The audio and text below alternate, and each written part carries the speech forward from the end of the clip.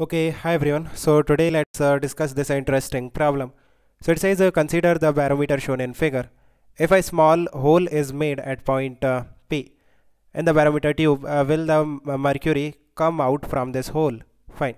So देखो इस तरह से ये डायग्राम दे रखा है यहाँ पे ये मर्क्यूरी फिल है इस बैरोमीटर ट्यूब के अंदर एंड बाहर कितना प्रेशर होगा? एटमॉस्फेरिक प्रेशर इट मीन्स ये जो फ्री सरफेस है यहाँ पे कितना प्रेशर होगा? एटमॉस्फेरिक प्रेशर अगर मैं यहाँ पे कोई पॉइंट ए लेता हूँ देन पॉइंट ए पे कितना प्रेशर होगा? एटमॉस्फेरिक प्रेशर बिकॉज़ आप देखो सेम लेवल पे किसी लिक्विड में सेम प्रेशर होता है है ना?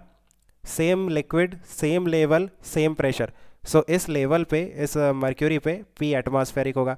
लेट से इस बैरोमीटर ट्यूब के अंदर इस पॉइंट पी uh, में जो प्रेशर है uh, इस लेवल पे जो प्रेशर है इस बैरोमीटर ट्यूब के अंदर that is P one then we can say कि ये जो हाइट है ना पॉइंट पी से ये जो फ्री सरफेस की हाइट है that is H then we can write P one plus rho into G into H that is equal to P atmosphere because यहाँ से देखो पी वन से एच हाइट नीचे आपको पी एटमॉस्फेरिक प्रेशर मिलेगा atmospheric pressure मिलेगा P one is nothing but atmospheric pressure minus rho into G into H it means P one is lesser than atmospheric pressure now uh, आप देखो कि tube के अंदर जो प्रेशर है P one that is lesser than atmospheric pressure बाहर atmospheric pressure है और अंदर पी वन प्रेशर है which is lesser than atmospheric pressure and जो लिक्विड है वो हाई प्रेशर से लो प्रेशर की तरफ़ मूव करता है.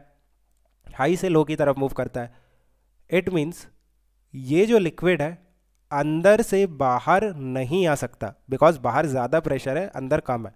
और आप इस तरह से फील करके देखो कि अगर यहाँ पे लेट से कोई मॉलिक्यूल है या फिर कोई यू नो मर्क्यूरी है, उस पर जो फोर्स लगेगा, बाहर से कितना फोर्स लगेगा? Atmospheric pressure into whatever is the area of this molecule और अंदर से कितना फोर्स लगेगा? That will be P one into A so net force इसमें अंदर की तरफ आएगा मीन्स ये वाला जो फोर्स है that will be greater So that's why uh, the mercury cannot come out from this barometer tube.